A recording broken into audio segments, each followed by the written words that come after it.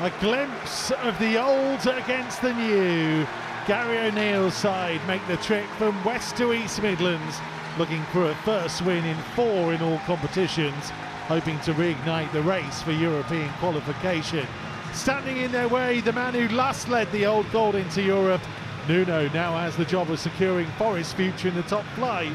The Tricky Trees are only out the relegation places by goal difference and have won this fixture just once in the last 10. Sarabia's ball forwards, headed away, picked up on by Doyle.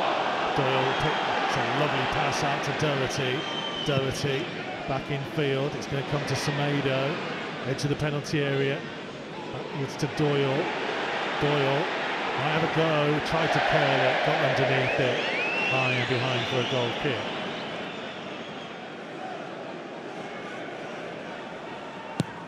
Clipped in by Reyna. Jose Sá flapped at it a little bit, comes to the edge of the area.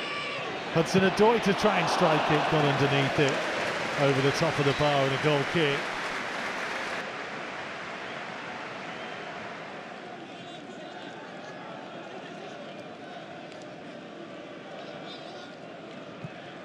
Oh, that's loose by Semedo. Pounced on by Reyna. Reyna striking low, and it's just wide of Jose Sá's right hand upright as he looks downfield. Backwards to Kilman. Now into the centre circle to Doyle, allowed to turn. Semedo had run offside, but he plays it to the right side to Cunha. Cunha's gone for goal, and I think he caught the goalkeeper napping. He was just too high and wide, but Matz Sels, I think, was expecting a cross and had moved for it. Cunha from a very wide angle, very nearly. Oh, the keeper looked silly. Well, I, I think Sells was still moving across his, his goal line. I think sometimes you've got to try and keep it low. Well, Forest have given it away to João Gomes in the penalty area, clear off the line. Sarabia, oh, how's he missed? Right foot. His On his foot. right foot, Yeah. eight yards out. It was nearly Wolves' turn to get a gift. Forest playing around in their penalty area, passed it straight to João Gomes, whose curling effort had beaten the goalkeeper, headed off the line by Murillo. And then the follow up there on his right foot, sat up for Pablo Sarabia, hits the target and Wolves lead. Went back beyond the far post.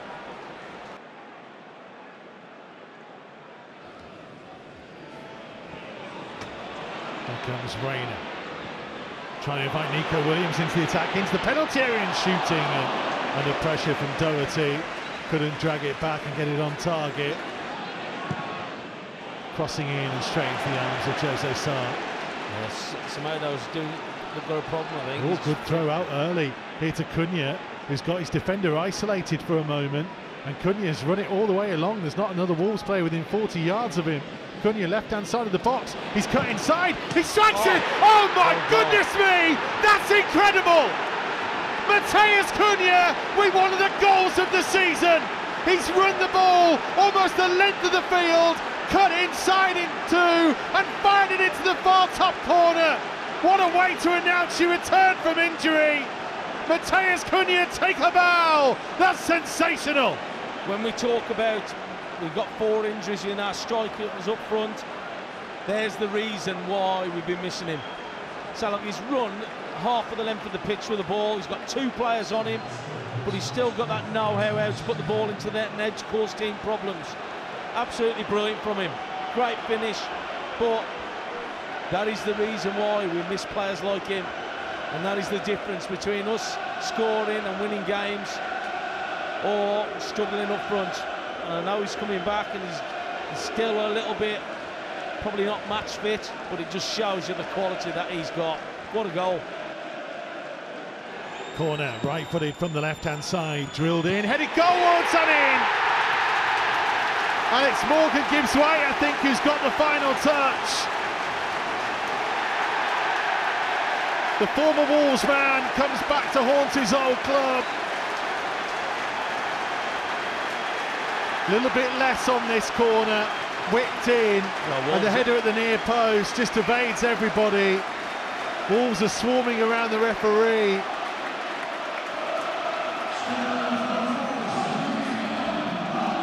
Yeah, there's no, need- there's no need to to go and run to the away fans out.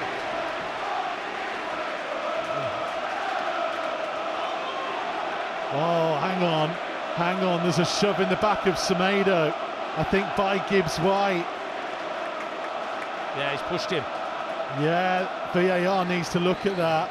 Nothing will be given. It was a foul because he's pushed him definitely in the back. And we're going to get Hugo Bueno and Hee Chan Hwang coming on.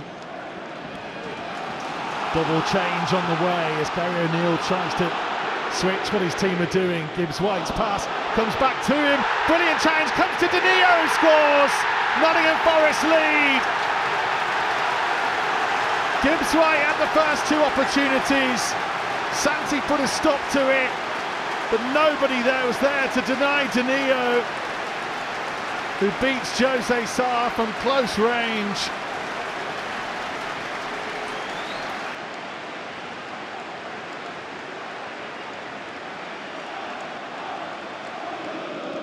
Back to Toti it goes. Into Kilman inside the centre circle. Doyle out to the right hand side for Semedo. Semedo skips infield away from Hudson Odoi. Clever run by Sarabia. Pull back, Hwang shot charged down by Omobamidele. It's a Wolves corner. Yeah, good pull back, good play. Then this right hand side from Semedo. It's drilled towards the far post. Kilman's header. All Toti, can they scramble it in? Yeah. They do! Cunha. Matheus Cunha! Wolves back level! Second of the game. Matheus Cunha mocks Morgan Gibbs White's celebration. It's Nottingham Forest 2, Wolves 2. It's a scrappy goal, but that away end does not care. No, lot, but again, it's a it's a well thought out set play, driven to the back post from Sarabia. Clear header, there's blocks going on there. Header for Kilman, he puts it back into the middle.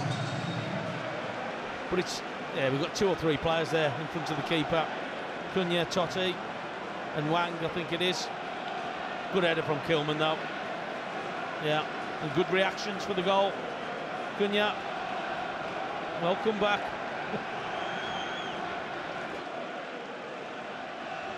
Nicholas Dominguez. Here come Forest though, and it's a good save by Jose Sá.